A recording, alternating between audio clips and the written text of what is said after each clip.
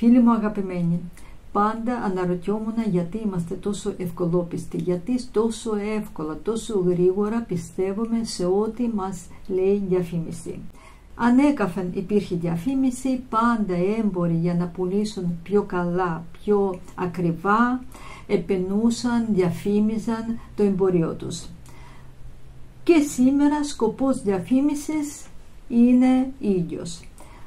Όμως τρόπος διαφήμισης εννοείται ότι άλλαξε πάρα πολύ.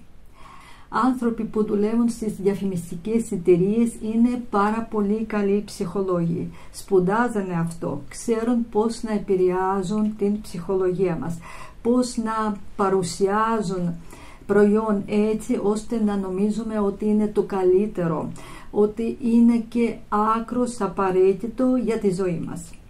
Αυτοί πολύ καλά κάνουν. Εμείς τι κάνουμε. Έρευνες δυστυχώς δείχνουν ότι σχεδόν 80% ανθρώπους επηρεάζονται πλήρες από τις διαφημίσεις. Προτιμάμε να πληρώσουμε περισσότερα αρκεί να είναι επώνυμη μάρκα, χωρίς να ξέρουμε αν όντως είναι έτσι. Πιστεύουμε απολύτως αυτό που βλέπουμε στην τηλεόραση, αυτό που ακούμε στο ραδιόφωνο κτλ. κτλ. Φίλοι μου αγαπημένοι, ξεχνάμε ότι έχουμε ελεύθερη αγορά. Δεν υπάρχει κάποιος σοβαρός έλεγχος στα προϊόντα. Δεν υπάρχει έλεγχος στις διαφημίσεις. Δηλαδή μπορείς να πεις ό,τι θέλεις και τίποτα δεν να πάθεις μόνο ένας μικρός έλεγχος υπάρχει σε κάποια συγκεκριμένα θέματα.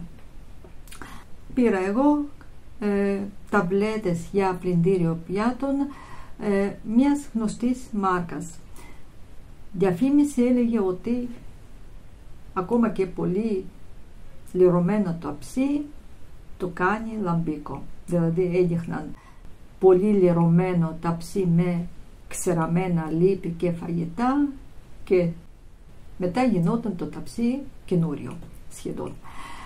Ε, βάζω και εγώ ένα μικρό ταψάκι που ήταν λίγο λερωμένο σε σύγκριση με αυτό που δείχνανε ήταν τίποτα δεν είχε και περιμένω φαύματα. Τι φαύματα, τίποτα. Αυτά τα σημεία που ήταν λερωμένα, αυτά τα καμένα λύπη όπως ήταν εκεί μείνανε.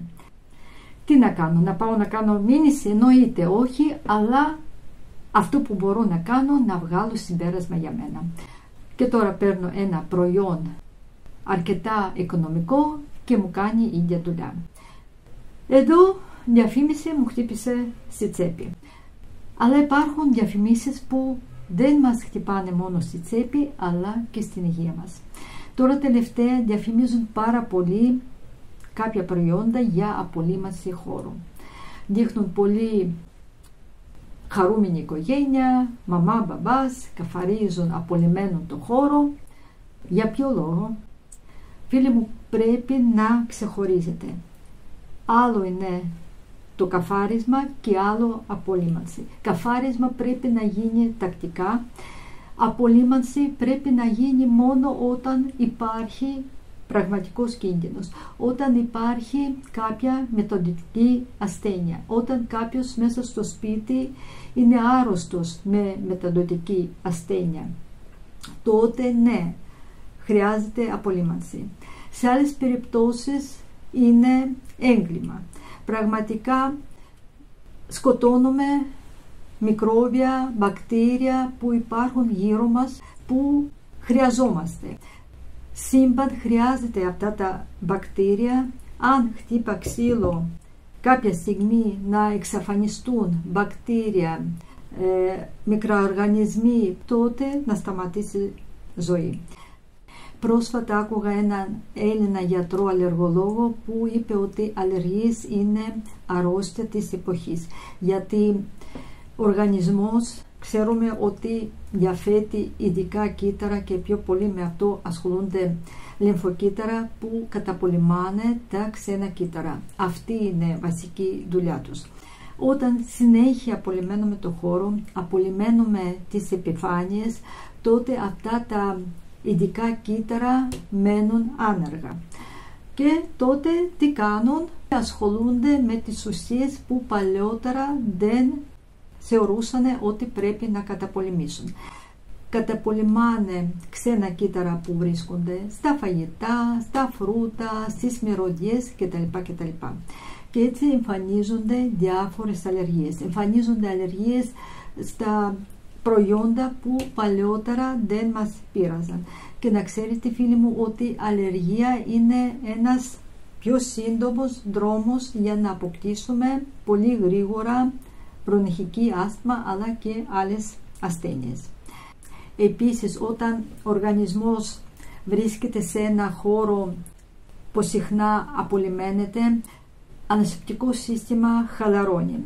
Δεν παράγει πια αρκετά κύτταρα που χρειάζεται για να απολυμήσει ξένα κύτταρα. Θεωρεί ότι δεν χρειάζεται και τότε μένουμε αόπλοι μπροστά σε πραγματικό εχθρό. Όταν έρχεται πραγματικά επικίνδυνα μπακτήρια, μικρόβια, ιώσεις, μένουμε άοπλοι. Και είναι πραγματικά πάρα πολύ επικίνδυνο για μας. Και το τρίτο που ήθελα να σας πω για αυτά τα προϊόντα, ε, αυτά τα προϊόντα συνήθως έχουν αλκοόλες ουσίες. Αυτές οι ουσίες είναι αρκετά τοξικές και πρέπει να τους χρησιμοποιήσουμε με μέτρο. Πρέπει να τους χρησιμοποιήσουμε όταν πραγματικά υπάρχει ανάγκη και ποια ανάγκη σας έχω πει. Ε, επίσης, μπορείτε να μου πείτε γιατί να χρησιμοποιήσουμε αυτό το υγρό για απολύμανση του στόματος από τη στιγμή που δεν έχουμε χαλασμένο ντόντι, δεν έχουμε βήχα, δεν έχουμε συνάχη, δεν πονάει λαιμός μας για ποιο λόγο να βάλουμε αυτές χημικές ουσίες στο στόμα μας. Δεν υπάρχει κανένας λόγος. Απλά καθαρίζουμε καλά τα ντόνια μας, ε, τη γλώσσα μας και δεν χρειάζεται να κάνουμε κάτι παραπάνω.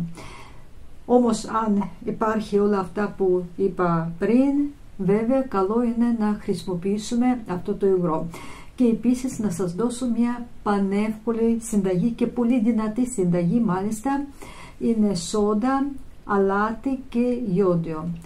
Ε, ανακατεύετε όλο αυτό με νερό και κάνετε γαργάρες. Είναι πολύ δυνατή συνταγή που πραγματικά σκοτώνει όλα τα μικρόβια. Αν έχετε θεροειδή εννοείται ότι δεν να βάλετε το ιόντιο. Επίσης διαφημίζουν με πολύ μεγάλη χαρά μαλακτικό ρούχο ότι κρατάει άρωμα το ρούχο για μία εβδομάδα, δύο εβδομάδες. Φανταστείτε φίλοι μου πόσο χημικά αρώματα μπήκε μέσα στο μαλακτικό για να μυρίζει ρούχο τόσες μέρες. Και όλες αυτές τις χημικές ουσίες βάζουμε πάνω μας. Μυρίζουμε. Για ποιο λόγο; Υπάρχουν ε, πολλές φυσικές συνταγές ε, που μπορείτε να φτιάξετε μόνοι σας για να μαλακώσετε τα ρούχα σας και αν δεν θέλετε να ασχοληθείτε με αυτό τότε βάλτε τουλάχιστον πάρα πολύ λίγα ίσα ίσα για να μαλακώσουν λίγα τα ρούχα και όχι για να μυρίσουν. Και κάτι ε, τελευταίο πολύ σημαντικό που ήθελα να σας πω σήμερα. Εμπιστευόμαστε σχεδόν τυφλά τους επιστήμονες τους γιατρούς, τους δασκάλους, δικηγόρους κτλ. κτλ. Καλά κάνουμε, είναι ειδικοί, ξέρουν αυτό που κάνουν, αλλά μην ξεχνάμε ότι και αυτοί οι άνθρωποι θέλουν να ζήσουν καλά. Και για να ζήσουν καλά, καμιά φορά μπορεί να μας δώσουν λάθος συμβουλές. Ε, όπως μπορεί να μας συμβουλέψουν να ε, κάνουμε κάποια ενέργεια που στην ουσία δεν χρειαζόμαστε να κάνουμε, να αγοράζουμε κάτι που είναι πολύ πιο ακριβό από διπλανό που δεν έχουν κάποιο όφελο για να αγοράσουμε. Δηλαδή, φίλοι μου, θέλω να προσέξετε λίγο. Να πάρουμε για παράδειγμα πάνες. Μία συνηθισμένη συμβουλή των παιδιάτρων ό,τι αφορά την πάνα είναι εξής. Να μην πιέζουμε το παιδί, να περιμένουμε πότε το παιδί να είναι έτοιμο, να περιμένουμε πότε το παιδί μόνο του να ζητήσει να βγάλει την πάνα. Τότε φίλοι μου να μην τον βοηθήσουμε και σε άλλα πράγματα. Να μην τον βοηθήσουμε να κρατάει το κουταλάκι, να κρατάει το ποτηράκι, να μην τον βοηθήσουμε να περπατήσει κτλ. κτλ. Γίνεται, πιστεύω είναι λάθος. Ρόλος μας είναι να βοηθήσουμε το παιδί. Το παιδάκι από ηλικία 12 με 14 μηνών ήδη είναι έτοιμο να βγάλει πάνα. Σας φαίνεται παράξενο, τα παιδιά μου βγάλανε σε αυτή η ηλικία την πάνα. Ε, δεν είναι εύκολα, αλλά δεν είναι και δύσκολα. Απλά με υπομονή, με κάποια κόλπα, ας πούμε έβαζα ένα κουκλάκι και έκανα ό,τι έκανα τσιστάκι και λέγαμε πω πω πω κοίτα τι έκανε και χαρά που έκανε το παιδί και ήθελε και αυτός να κάνει το ίδιο, ήθελε να μιμείται ε, τη κούκλα, ε, έδινα στο παιδί και κανένα ε, νεράκι, κανένα χυμό για να του έρθει πιο εύκολα και έτσι σιγά σιγά έμαθε να πηγαίνει στο γιογιό. Το παιδί σε αυτήν την ηλικία ήδη ξέρει τι θέλει, ήδη ξέρει τι του αρέσει, τι δεν του αρέσει και βέβαια μπορεί να μάθει να πηγαίνει και στο γιογιό. Καταλαβαίνει πάρα πολύ καλά τι του γίνεται. Απλά ρόλος μας δεν είναι να τον πιέζουμε, ρόλος μας είναι να τον βοηθήσουμε. Και είναι πάρα πολύ καλό για τους λόγους υγιεινής, εννοείται, ζούμε στην Ελλάδα, φανταστείτε τι ζέστη τραβάει το παιδάκι σας σε αυτό το βαβάκι μέσα. Εσείς βάλτε πάνω σας να δω τι ωραία είναι. Και βέβαια είναι και οικονομικός λόγος.